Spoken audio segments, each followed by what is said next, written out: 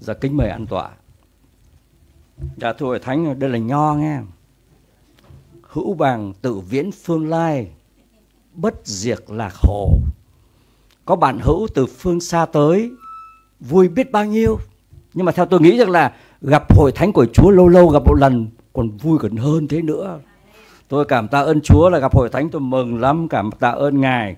Xin Chúa ban phước cho Hội Thánh của Ngài được vui mừng, bình an và nhất là thỏa lòng trong bất cứ hoàn cảnh nào, bất chấp hoàn cảnh. Xin Chúa ban phước cho Hội Thánh của Ngài. Giờ hôm nay chúng tôi sẽ chia sẻ với quý vị trong Thi Thiên Trăm Ba một thi thiên nổi tiếng phải không ạ? Một thi thiên nổi tiếng. Và với đề tài là hạnh phúc đời người. Anh ờ, chúng ta muốn đi tìm giá trị cuộc đời, muốn tìm hạnh phúc đời người, hãy đọc cho kỹ thi thiên này và sống bằng thi thiên này.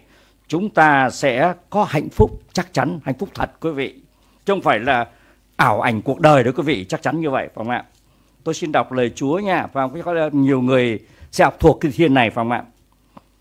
Ờ, Đức giê va là đấng chăn giữ tôi, tôi sẽ chẳng thiếu thốn gì. Ngài khiến tôi an nghỉ nơi đồng cỏ xanh tươi, dẫn tôi đến mé nước bình tĩnh. Ngài bổ lại linh hồn tôi, dẫn tôi vào các lối công bình vì cớ danh Ngài. Dầu khi tôi đi trong trũng bóng chết, tôi sẽ chẳng sợ tai họa nào vì Chúa ở cùng tôi. Cây trượng và cây gậy của Chúa an ủi tôi Chúa dọn bàn cho tôi trước mặt kẻ thù nghịch tôi. Chúa sức giàu cho đầu tôi, chén tôi đầy tràn. Quả thật, trọn đời tôi, phước hạnh và sự thương xót sẽ theo tôi. Tôi sẽ ở trong nhà Đức Diêu Va cho đến lâu dài. Xin Chúa ban phước cho Thánh. Giá thưa Thánh Thi Thêm Ba là một bài ca rất cổ để tán tụng Thượng Đế được viết cách đây khoảng 3.000 năm. Và thi thiên này là thi thiên được yêu thích nhất trong 150 thi thiên. Thi thiên này là một khúc ca bày tỏ niềm vui, niềm hạnh phúc của một người được sống trong sự dẫn dắt của Chúa. Cảm tạ ơn Chúa. Thi thiên ba được người tin Chúa hát lên giữa lúc vui mừng cũng như giữa cảnh khổ đau của đời người đó. Và thi thiên này được nổi tiếng không phải chỉ giữa vòng những người tin Chúa, nhưng cũng được phổ biến đến người không tin Chúa. Một số nhà nghiên cứu văn học ghi nhận rằng là Thi tham Ba là một trong những áng văn tuyệt tác của nhân loại thuộc thành của Chúa. Và Thi Thiên mở đầu bằng câu là Đức giê va là đấng chăn giữ tôi. Tôi sẽ chẳng thiếu thốn gì. Thi Thiên này là do vua David sáng tác nhà vua đã ví sánh Chúa là người chăn chiên, còn chính mình là con chiên dưới sự chăn dắt của Chúa. Người chăn hiểu rất rõ bản chất của con chiên, chiên không thể tự vệ. Nếu không có sự che chở, thì cả đàn sớm muộn gì cũng phải bị muông sói tàn hại. Chiên không biết rằng ngày mai mình sẽ ăn tại đồng cỏ nào, uống nước tại nguồn nào, chiên hoàn toàn sống theo bản năng, đói ăn, khát uống, không có khả năng tự vệ, rất cần có người chặt. Về một phương diện nào đó thì con người chúng ta giống như chiên vậy. Trước những phức tạp của đời người, con người không biết rằng ngày mai mình sẽ ra sao. Phải không quý vị? Chắc chắn như vậy phải không ạ? Có những hoàn cảnh mà nhiều khi chúng ta chỉ biết phó mặc cho sự may rủi mà thôi. Hiểu được điều đó, David khiêm tốn so sánh mình nhưng mà tạo vật yếu ớt, khờ dại và đặt mình hoàn toàn vào sự chăm sóc của đấng toàn năng. Cái từ ngọt ngào nhất trong phần mở đầu thi thiên này chữ tôi. Nó lên sự liên hệ mật thiết giữa tác giả với Chúa. Chúa không phải là Chúa của một ai khác, nhưng là Chúa của chính tôi. Ngài yêu thương tôi, chăm sóc tôi, bảo vệ tôi và dẫn dắt cuộc đời của tôi. Cảm tạ ơn Chúa. Chính vì tôi hoàn toàn đầu phục Chúa, hoàn toàn đặt mình dưới sự dẫn dắt của Chúa. Vì thế tôi chẳng thiếu thốn gì cả. Tôi chẳng muốn điều chi khác nữa. Vì Chúa đã chăm sóc, đã cung ứng cho tôi quá đủ mọi nhu cầu thuộc linh, thuộc thể, đời này lẫn đời sau, đầy đủ và dư dật. Đó là một cuộc sống sung mãn, thỏa lòng và hạnh phúc vô cùng. Tôi chắc chắn quý vị phải không ạ? Quý vị cứ thử Chúa để biết liền phải không ạ? Nhưng thực tế có biết bao người bạc tóc, héo hon, mất trí vì lo lắng. Trong đó có cả tín đồ nữa. Tại sao vậy? Vì họ không trao mọi sự cho Chúa. Không phó thác đời mình cho Ngài. Không tự coi mình là con chiên. Phó thác số phận cho người chăn chiên hiền lành là Chúa Giêsu. Vậy xin Chúa giúp đỡ chúng ta, chúng ta là những người khôn ngoan. Hãy làm như tác giả thi thiên này. Đặt mình dưới sự chăn dắt, hướng dẫn, bao bọc của Chúa. Chắc chắn đời sống chúng ta có hạnh phúc. Ngài khiến tôi an nghỉ nơi đồng cỏ xanh tươi. Dẫn tôi đến mé nước bình tĩnh. Bức tranh diễn tả đây thật tuyệt vời. Một bầy chiên hiền hòa nằm an lành trên bãi cỏ xanh, bên dòng nước trong đang lững lờ trôi. Khung cảnh thật đẹp. Quen với sinh hoạt bầy chiên, David biết rằng là chiên chỉ nằm nghỉ khi nào đã ăn no, không sợ ai kẻ thù và cũng không lo lắng vì có những xung đột trong bầy. Sự bình an trong Chúa đã được David diễn tả thật khéo léo. Hình ảnh những con chiên nằm dài trên bãi cỏ diễn tả tâm trạng của người nương cậy theo Chúa không còn vướng bận ám ảnh bệnh sợ hãi bên ngoài không còn sợ hãi, chứ căng thẳng bên trong hay những lo âu đói nghèo. Dầu không xuất hiện rõ ràng trong bức tranh, nhưng chìa khóa bức tranh xinh đẹp chính là hình ảnh người chăn thấp thoáng đâu đó bên sườn đồi. Những con chiên chỉ cảm thấy bình an khi biết rằng là người chăn lúc nào cũng ở đâu đó bên cạnh để canh chừng và chở che chúng Hình ảnh trên thật tương phản với thực trạng của xã hội loài người. Ngày nay, chúng ta đang sống một thế giới đầy xáo trộn. Con người luôn luôn khao khát, luôn tìm kiếm nhưng không thể thỏa lòng gì cả, thưa quý vị. Cuộc đời là bãi chiến trường đầy tranh đấu, tang thương, mất mát và đau khổ. Con người luôn cảm thấy lo sợ, lo sợ đủ thứ, bệnh tật, tai nạn, đói nghèo, chiến tranh, chết chóc. Chính Chúa sẽ giải thoát chúng ta khỏi những lo toan, gánh nặng, khốn khổ của cuộc đời này và đem đến chúng ta sự vui mừng, bình an, thỏa lòng. Miễn là chúng ta sao ạ? Phó thác mọi điều cho Chúa mà thôi. Chúa Giêsu từng phán rằng hỡi những kẻ mệt mỏi và gánh nặng hãy đến cùng ta ta sẽ cho các ngươi được yên nghỉ. Ta có lòng nhu mì, khiêm nhường, nên hãy gánh lấy ách của ta và học theo ta, thì linh hồn các ngươi sẽ được yên nghỉ. Nhưng thực tế thì có một, một bộ phận tín đồ không có sự yên nghỉ, bình an trong cuộc sống. Lý do là vì họ chỉ nghĩ rằng là tin Chúa chỉ để thoát khỏi hình phạt đời đời trong hỏa ngục, để được cứu rỗi và vào thiên đàng vinh hiển. Còn đời sống thực tế thì dường như Chúa không can dự gì vào đời sống của họ cả. Tin Chúa đã được cứu là điều chính đáng. Nhưng nếu chỉ dừng tại đó mà thôi thì đời sống chúng ta cũng sẽ trống rỗng, tầm thường như những người chung quanh chúng ta mà thôi, thưa thành. Đó là thực tế. Kinh Thánh nói rằng là người công bình thì sống bởi đức tin mình. Hạp cúc đoạn 2 có 4. Ngoài ra còn nói rằng là đức tin dẫn đức tin nữa. Có nghĩa là đức tin ngoài việc đem lại chúng ta sự công chính và sự cứu đỡ của Chúa. Mà đức tin được cứu còn dẫn chúng ta đến loại đức tin để sống cho Chúa một cách dư dật. Trong Hebrew đoạn 11 thì bởi đức tin không những được cứu rỗi, mà bởi đức tin người ta thực hiện những công việc vĩ đại, hưởng nhận được những phước hạnh lớn lao dư dật vô cùng. Đây là loại đức tin mà Thi Thiên 23 nói tới, một loại đức tin trọn vẹn vào Chúa và đưa chúng ta đến đời sống sung mãn và thỏa lòng vô cùng thưa thành của Chúa. Bãi cỏ xanh bên dòng suối còn biểu tượng là lời Đức Chúa Trời và Đức Thánh Linh trong đời sống của chúng ta. Chính lời đời sợ chính lời Chúa và sự linh dẫn của Đức Thánh Linh đã đem đến sự thỏa lòng cho những tấm lòng khao khát, đem đến sự tươi mới cho những lúc khô hạn, đem đến niềm hy vọng cho những tấm lòng sâu thẳm và đem đến sự sống muôn đời cho những ai tin cậy vào lời của Chúa. Nhưng điều tiếc rằng là chúng ta có nguồn hạnh phúc bên tay mà chúng ta không sử dụng nó. Các bạn, có lời Chúa ai cũng có kinh thánh cả, không đọc. Đọc mà không tin, tin mà không làm theo, son sẻ phước hạnh đương nhiên là như vậy rồi. Đó xin Chúa ban phước chúng ta các bạn.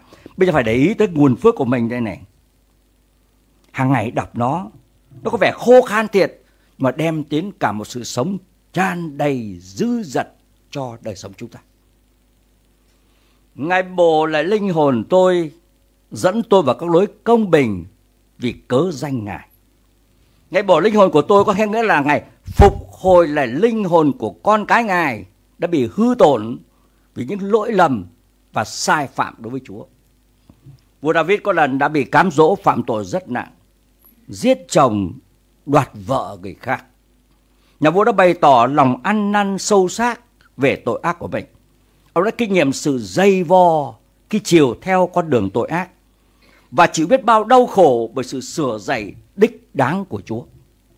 Nhưng ông cũng kinh nghiệm một điều mới là sau tất cả mọi chuyện, Chúa vẫn yêu thương và tha thứ cho ông. Và nhà vua đã kinh, ghi lại kinh nghiệm trên qua câu là Ngài bổ lại linh hồn tôi. Nói lên rằng là Ngài tha thứ cho ông và ban cho ông sức mới để tiếp tục theo Ngài. Và đây là một ơn phước thật sự cho chúng ta. Rất nhiều lần trong cuộc đời của mỗi chúng ta, chúng ta thay vì theo lời dạy dỗ của Chúa, chúng ta theo lời suối bẩy của tư dục mình, phạm những điều đáng xấu hổ. Nhưng Chúa vẫn không ruồng bỏ mọi đời sống chúng ta. Ngài chấp nhận những sự hối tiếc, ăn năn và tha thứ phục hồi lại mối thông công ngọt ngào giữa chúng ta với Ngài. Chúng ta cảm tạ ơn Chúa, Chúa bao dung và thương xót của Chúa đối chúng ta thật lớn lao, lẫn người chẳng xứng đáng gì. Dẫn tôi vào các lối công bình. Đây là một kinh nghiệm khác. Phước hạnh của Chúa không phải chấm dứt bằng sự nghỉ ngơi, nhưng người theo Chúa phải tiếp bước linh trình của mình đang khi sống trên đời này phải Linh hồn được Chúa bồi bổ để chuẩn bị cho một hành trình mới. Sức lực nhận được từ Đức Chúa phải được sử dụng trong con đường công chính khi chúng ta sống trên cuộc đời này. Đức Chúa Trời muốn con cái Chúa bước đi trong đường lối công chính của Ngài. Ngài muốn chúng ta bước đi không phải chỉ vì lợi ích riêng của mình mà thôi, mà lợi ích vì sự vinh hiển danh Chúa và lợi ích người khác nữa. Dầu tôi đi trong chúng bóng chết, tôi sẽ chẳng sợ tai họa nào vì Chúa ở cùng tôi, cây trượng và cây gậy của Chúa an ủi tôi. Câu kinh thánh này diễn tả một tâm trạng khác trong đời sống người tin Chúa. Cuộc đời chúng ta không phải lúc nào là những toàn là những thảm cỏ xanh, đôi khi là những hoạn nạn, khó khăn như là bóng sự chết tìm cách vây phủ người theo Chúa. Tuy nhiên, khi có Chúa thật sự hiện diện trong đời sống của mình ở bên cạnh mình, những nguy hiểm đó chỉ là chiếc bóng chóng qua. Trải qua hàng ngàn năm, câu kinh thánh trên đã an ủi biết bao thế hệ người tin Chúa. Rất nhiều người đọc câu kinh thánh này khi hấp hối, họ đã về với Chúa trong sự bình an. Hầu hết các đốc nhân khi đối diện với sự chết, không sợ hãi hay chạy trốn.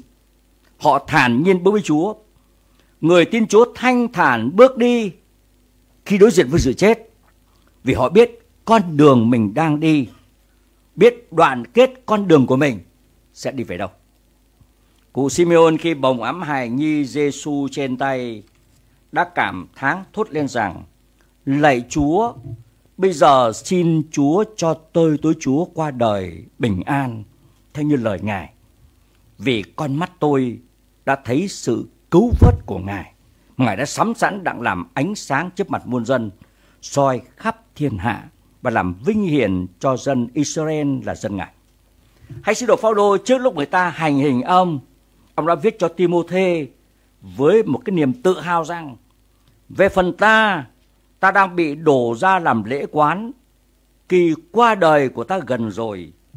Ta đã đánh trận tốt lành, đã xong sự chạy, đã giữ được đức tin. Hiện nay mão triều thiên của sự công bình đã để dành cho ta. Chúa là quan án công bình sẽ ban mão ấy cho ta trong ngày đó. Không như cho ta mà thôi, nhưng cũng cho mọi kẻ yêu mến sự hiện đến của Ngài. Làm người thì ai cũng phải chết hết.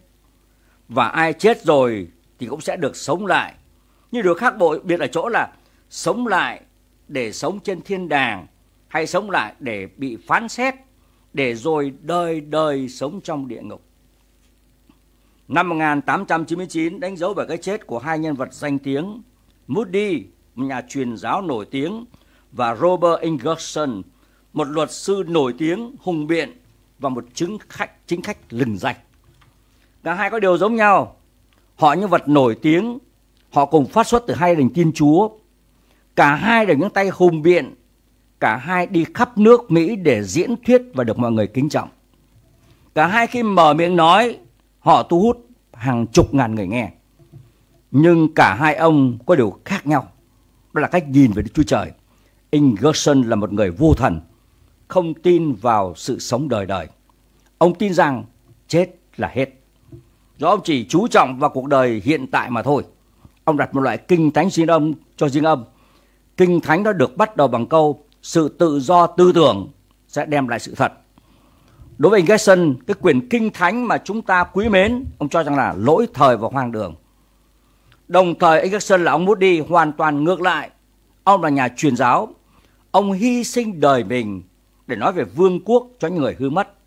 Ông ấp ủ quyền kinh thánh, như là niềm hy vọng của nhân loại. Và cái thập tự là điểm thay đổi lịch sử loài người. Hai ông là hai nhà lãnh đạo của ảnh hưởng đến người khác. Một người từ chối Chúa, một người vâng theo Chúa. Hai lập trường khác nhau nên cái chết của họ khác nhau.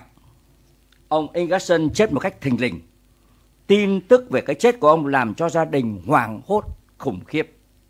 Đối một nhân vật không tin có sự sống đời đời đã đem tất cả hy vọng, nỗ lực của mình vào cuộc đời này thì cái chết là một thảm kịch ngỡ ngàng và vô vọng. Cái chết của mục sư Moody thì hoàn toàn khác hẳn. Ngày 22 tháng 12 năm 1899, ông Moody thức giấc trong một ngày mùa đông lạnh giá. Sức khỏe của ông dần dần yếu và đêm qua nó lại càng yếu hơn. Ông nói chậm rãi từng chữ một.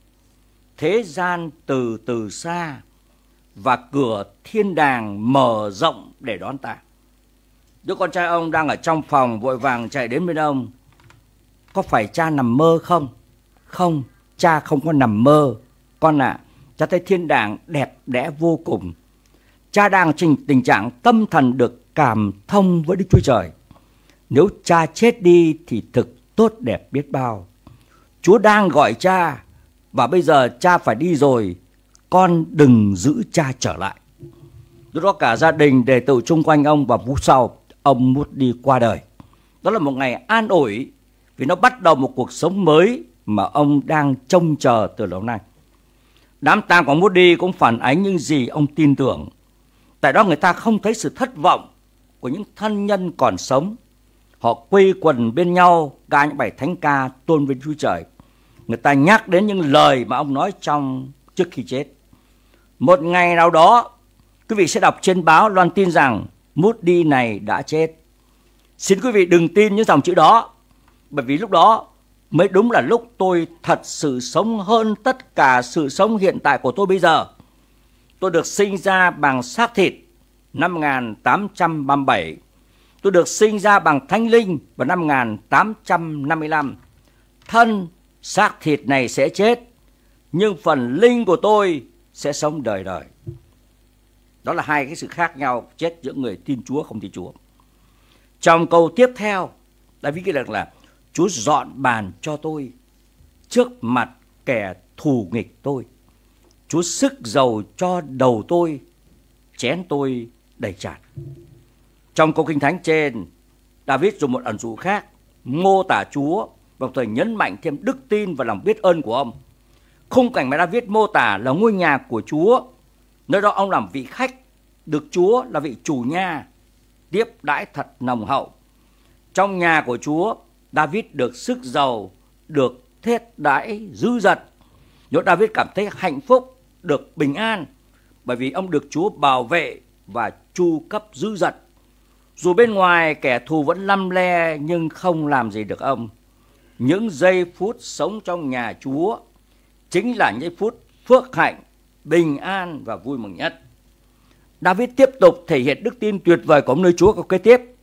Quả thật, chọn đời tôi, phước hạnh và sự thương xót sẽ theo tôi. David nhấn mạnh ơn phước và tình yêu của Chúa không chỉ ban cho ông trong quá khứ, trong hiện tại, nhưng tiếp tục mãi trong tiền lại. Con người luôn tìm kiếm theo đuổi những phước hạnh, nhưng qua câu kinh thánh trên, David cho biết rằng là ông không phải tìm kiếm phước hạnh, nhưng phước hạnh sẽ theo đuổi cuộc đời của ông. Câu nói dường như có vẻ ngạo mạn, nhưng thật ra chỉ trình bày một kinh nghiệm, một thái độ tin cậy tuyệt đối nơi Chúa. Cùng người biết rằng là Chúa là đấng nắm giữ tương lai mình. Cảm nhận được ơn phước của Chúa, David hứa nguyện với Chúa rằng là tôi sẽ ở trong nhà Đức giê va cho đến lâu dài. Không có gì phân rẽ tôi khỏi nhà Chúa, vì nơi ấy tôi hưởng được những phước hạnh tuyệt vời. Không có gì phân rẽ tôi khỏi nhà Chúa, vì nơi ấy tôi được đối xử thật tuyệt vời. Không có gì phân rẽ tôi khỏi nhà Chúa, vì nơi ấy tôi có Chúa. Những sự an bình, sung túc, vinh hiển hiện tại chỉ là phước hạnh tạm thời. Nhưng phước hạnh lớn nhất của tôi là tôi sống bên cạnh Chúa và thờ phượng Ngài trọn đời. Ước ao rằng đây là cái mong ước của mỗi người chúng ta. Còn một câu khác mà tôi cũng rất thích, nó giống như vậy. Tôi đã xin Đức giê va một điều và tìm kiếm điều ấy. Ấy là tôi muốn chọn đời được ở trong nhà Đức giê va để nhìn xem sự tốt đẹp Đức giê va và câu hỏi trong đền của Ngài. Amen, cảm tạ ơn Chúa. Đó là phước hạnh lớn nhất trong cuộc đời người theo Chúa. Đó là hạnh phúc của đời người đấy quý vị. Xin Chúa ở cùng với thánh của người của chúng ta. Amen, cảm tạ ơn Chúa.